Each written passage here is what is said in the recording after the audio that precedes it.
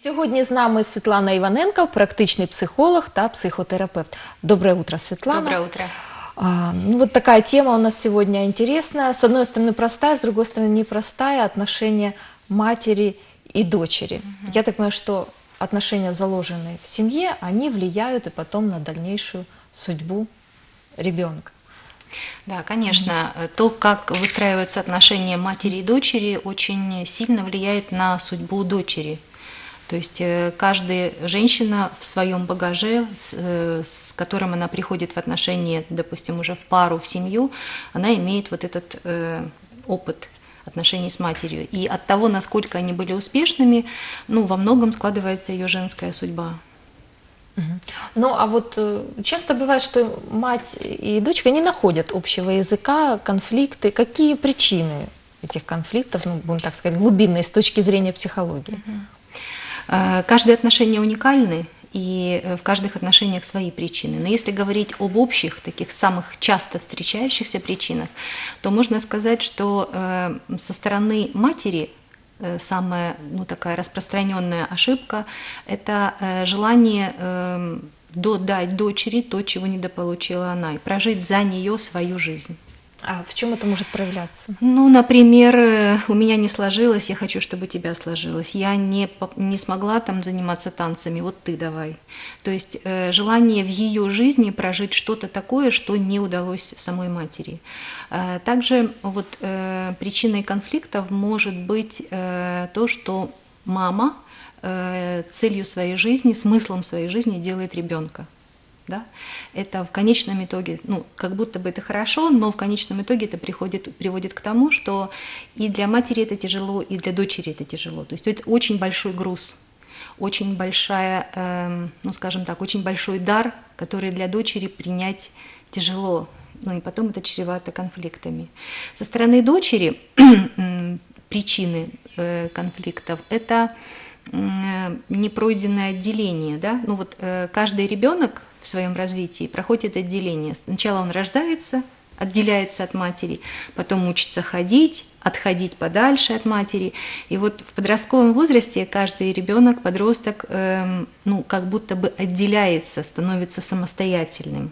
Вот. И э, конфликтность сохраняется тогда, когда уже взрослый человек не смог пройти этот, этот период, эту стадию. Не смог нащупать вот свое я, не смог взять ответственность за свою жизнь, да, ну и тогда вот продолжает бунтовать.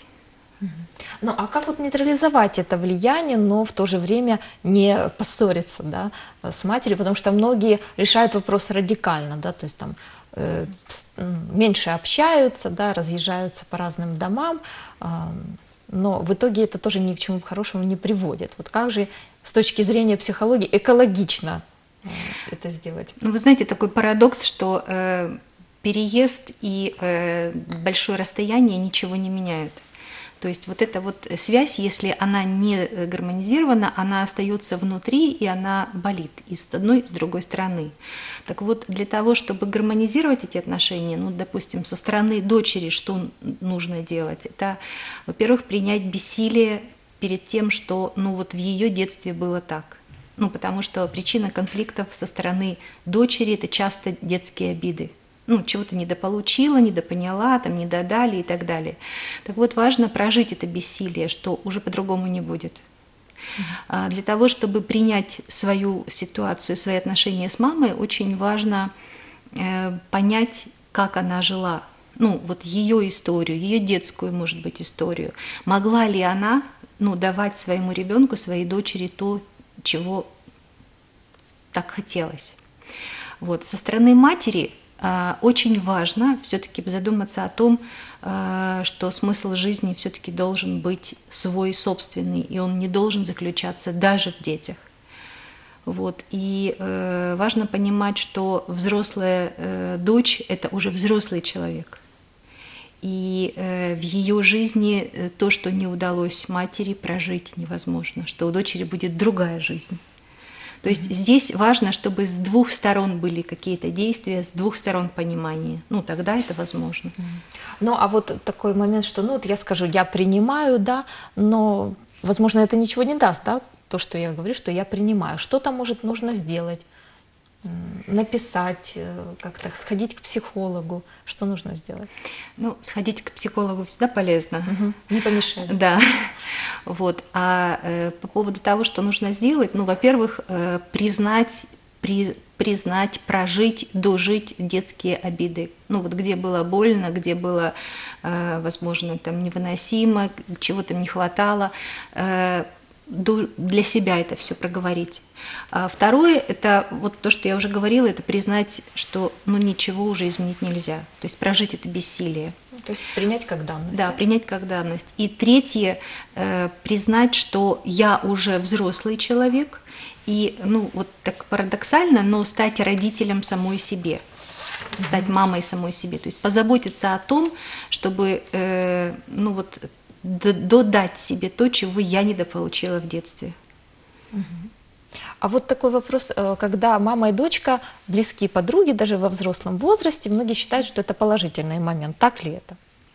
Вы знаете, здесь очень такая тонкая грань. Ну, с одной стороны, это хорошо, когда есть близкие отношения матери и дочери, а с другой стороны, все-таки подругами быть нежелательно. Ну, вот именно уровень подруг, да, потому что а, для того, чтобы мама могла поддерживать дочь, для того, чтобы она могла быть для нее такой незримой защитой, она все-таки должна стоять немножко выше, да, ну, быть быть в семейной системе вот э, на другой позиции, на позиции более старшего, вот. И в позиции, если мы подруги, то это просто теряется. Поэтому вот хорошие, теплые, близкие отношения, но это отношения мамы все-таки и дочери, не подруг. Это отношения старшего и младшего, это отношения более взрослой, опытной женщины и молодой женщины. Ну а вообще, как вот это принятие впоследствии может повлиять на судьбу дочки? Э, Ну, можно сказать, что каждый из нас состоит из двух половинок. Мамина половинка, папина половинка, да? И для женщины принятие матери, ее жизни, ее опыта – это принятие своей женской сути. И эм, можно сказать, что путь к тому, чтобы чувствовать э, вот эту женскую силу, он лежит через принятие матери, через принятие похожести с матерью, с матерью, потому что эм, иногда вот э, встречаются такие вот ситуации, когда сложно принять маму, потому что я на нее чем-то похожа, я это отрицаю, там, допустим, и, и- против Да, этого борюсь и так моменты. далее. Вот, так вот, вот этот как раз момент является самым важным. То есть принять вот эту похожесть, принять то, что мы близкие, родные, и э, ну, быть на нее похожей, это ну, вот так есть. Ну и тогда это, э, ну, на самом деле, это один из ключиков к тому, чтобы сложилась женская судьба. А, Ну, тут еще риск э, антисценарий, чтобы не реализовать, да, то есть я буду делать все против и буду делать Да, антисценарий. вот антисценарий это как раз-таки вот э, тот вариант, когда женщина остается на этапе вот этого бунтующего подростка. Ну, когда она продолжает отделяться и никак не может отделиться от матери. Но отделиться я имею в виду внутренне, психологически, не физически на расстоянии, да? Вот. И... То есть принимаем, да, принять маму такой, какая она есть, її опит, образ життя. Е, Отже, тема досить така є над чим замислитися.